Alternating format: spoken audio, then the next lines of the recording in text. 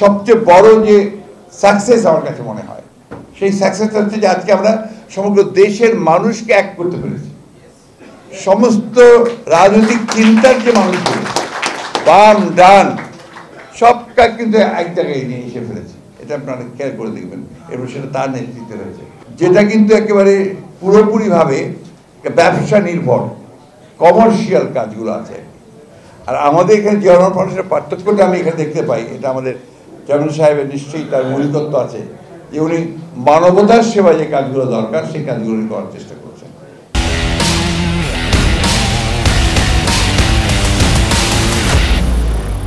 করার চেষ্টা করছেন। এখানেই পার্থক্যটা, এখানেই গোটা দর্শনের পার্থক্যটা। আমি যে কথাটা বলে শেষ করতে চাই, সেটা হচ্ছে হ্যাঁ রাজনীতি তো আছে আমাদের, এবং রাজনীতি চরম সংকট চলছে।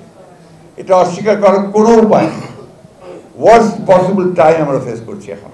ওয়ার্স্ট পসিবল টাইম এবং এই ওয়ার্স্ট পসিবল টাইমের মধ্যে আমরা কিন্তু শত প্রতিকূলতা সত্ত্বেও আমাদের মানুষ, আমাদের দল, আমরা যারা জিয়া রহমানের রাজনীতি বিশ্বাস করি, তার আমরা কিন্তু এটাকে মোকাবেলা করছি।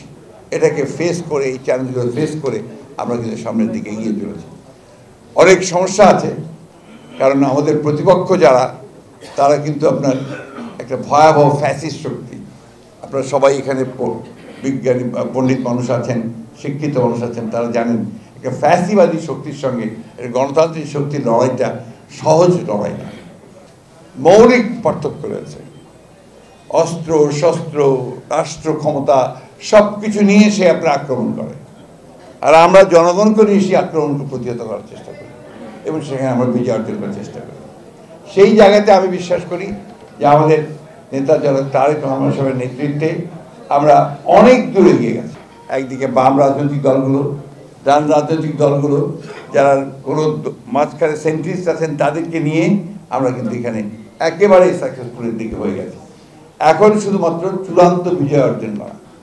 এবং আমার কাছে মনে হয়েছে যে শুধু দেশে নয়, বাইরেও যারা গণতন্ত্রে বিশ্বাস করেন, তাদেরকেও আমরা কিন্তু আমাদের যে চাওয়া আমাদের যে জনমানুষের যে চাওয়া, আমরা যে আপনার আমাদের গণতান্ত্রিক অধিকারটাকে ফিরে পেতে চাই, আমরা যে এখানে আপনার আমাদের ভোটিং রাইটসটাকে ফিরে পেতে চাই, ওই জায়গাটার সঙ্গে তারাও কিন্তু আমাদের সঙ্গে একমত হয়েছেন এবং তারা তাদের কথা বলছেন, তারা তাদের কাজগুলো করছেন।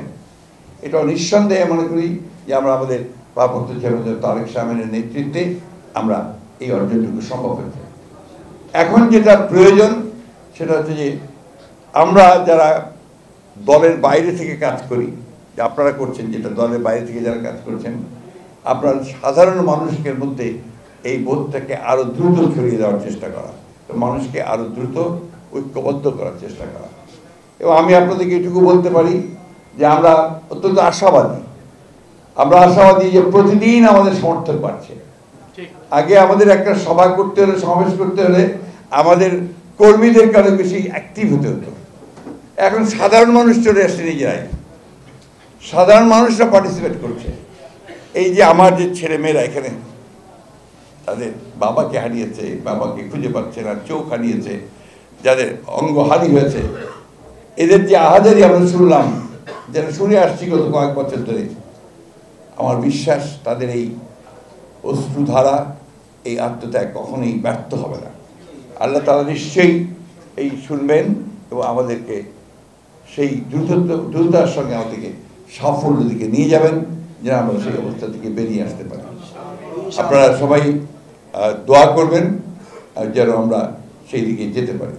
আর জিয়ারহমান ফাউন্ডেশনকে আমি আবারও আন্তরিক ধন্যবাদ দেবেন কারণ নাম বললাম না বাট আমি নিজে দেখেছি, আমি সঙ্গে থেকেছি সকলেরই আমি অ্যাক্টিভিটিসগুলো দেখেছি। এবং আপনারা যেহেতু দ্রুততার সঙ্গে এই কাজগুলো করতে সক্ষম হয়েছেন, একদম নিজস্ব উদ্যোগে। আপনাদেরকে কেউ কোনো কিছু চাপিয়ে দেয়নি। আপনারা নিজেরা করেছেন। এই জন্য আমি আপনাদেরকে আন্তরিক ধন্যবাদ এবং কৃতজ্ঞতা জানাচ্ছি। সেই সঙ্গে প্রত্যাশা করছি যে আগামী দিনে যে জিয়ারহমান ফাউন্ডেশন আরও উচ্চতা লাভ করবে এবং আরও মানুষের কাছে গিয়ে কাজ করতে সক্ষম হবে।